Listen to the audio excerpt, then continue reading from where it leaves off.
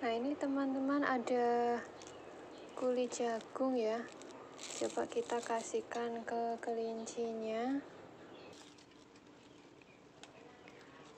Nah, ini ternyata suka ya teman-teman.